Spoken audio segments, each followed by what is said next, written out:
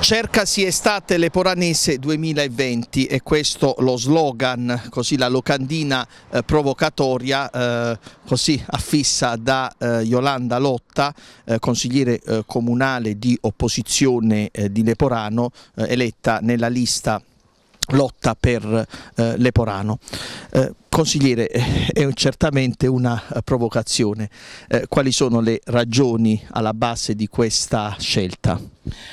Eh, niente, sono circa quasi vent'anni, io dal 1996 che porto avanti una rassegna estiva denominata Estate Leporanese ed Estate Leporano. Leporano nel 2020 l'estate leporanese ancora non è pervenuta. Dopo vent'anni di successi, di serate culturali, di eventi artistici di successo che hanno dato modo a Leporano di essere un punto di riferimento di tutta la provincia ionica, registriamo che l'amministrazione comunale guidata dal sindaco dottor dottor Damiano non ha programmato nessun evento per quest'estate. È chiaro che verrà usata come giustificazione la pandemia, ma è anche vero che sottolineare che su tutta la provincia ionica i comuni hanno organizzato eventi estivi nel rispetto del protocollo di sicurezza. Cosa non ha funzionato a Leporano? Organizzazione? Competenze, idee o quant'altro. Già l'anno scorso la stessa amministrazione aveva registrato due record, la, maggiore, la spesa maggiore negli ultimi cinque anni per organizzazione della rassegna circa 80.000 euro e il colossale flop delle poche eh, serate organizzate dove pochissimi cittadini e turisti hanno partecipato.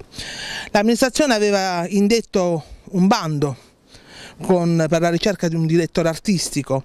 Dopo aver selezionato una ditta, lo stesso avviso poi è stato annullato, come altri provvedimenti amministrativi che risultano non pervenuti, come il 110 per il dirigente dell'ufficio tecnico, il concorso dei vigili urbani, la sostituzione dei dipendenti che in queste settimane stanno andando in pensione. Ultimo ma non per importanza che il sindaco e la sua amministrazione hanno ridotto di molto il contributo al comitato festeggiamenti Sant'Emidio, mettendo in grosse eh, difficoltà gli organizzatori. È triste vedere in queste condizioni l'abbandono a se stesso del territorio di Leporano, senza una luce, senza eventi, senza manifestazioni e confidiamo in un futuro migliore.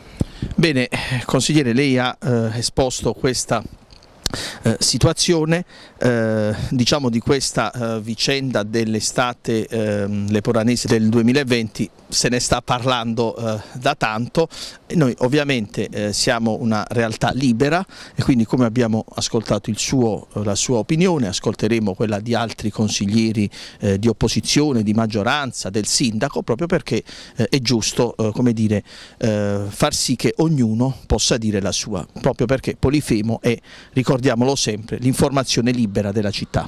Quello che voglio dire è che mm, purtroppo tanta gente viene da me dicendo Yolanda come mai quest'anno Leporano è, è, proprio morta, non c'è anche le attività commerciali, le attività del, commerciali del territorio sono veramente spente, eh, ho fatto delle foto del territorio durante la sera dove è veramente un paese desolato, dove prima c'erano migliaia di persone che arrivavano da ogni parte della provincia per eh, venire a Leporano, c'era il passeggio, ma adesso proprio veramente già dall'anno scorso c'è un una desolazione.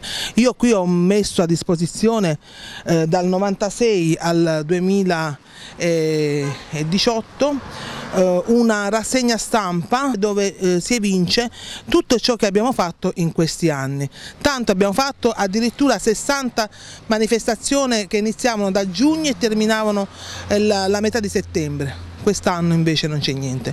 Mi dispiace per, le, per, i leporanesi, per quello che avevamo costruito in questi anni e che dire.